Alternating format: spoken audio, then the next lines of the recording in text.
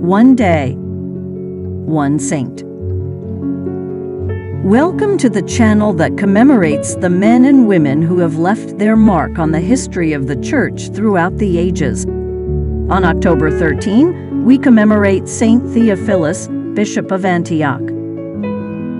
Hello, Theophilus is known for his essential role as Bishop of Antioch in the second century. Although exact details of his life remain somewhat unclear, he is considered one of the earliest Christian apologists, having written works to defend the Christian faith against pagan criticism. Born a pagan, Theophilus converted to Christianity after a deep study of the scriptures. He became the Bishop of Antioch, an important city for the early Christian community.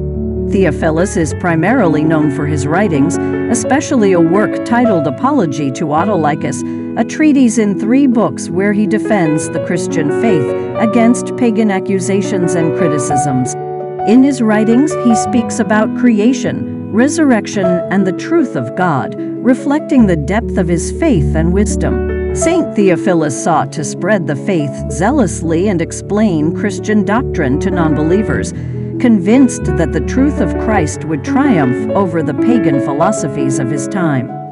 Here is a prayer to Saint Theophilus, Bishop of Antioch. O Saint Theophilus, you who sought truth fervently and embraced the Christian faith, we pray that you may intercede for us so that we may grow in our knowledge and love of God. Help us to witness our faith courageously and to live according to the Word of God in a world that is sometimes hostile to this truth. Grant us the wisdom and humility to share the gospel with others, just as you did with such zeal. Saint Theophilus, pray for us. Amen. Other saints are also commemorated on this day.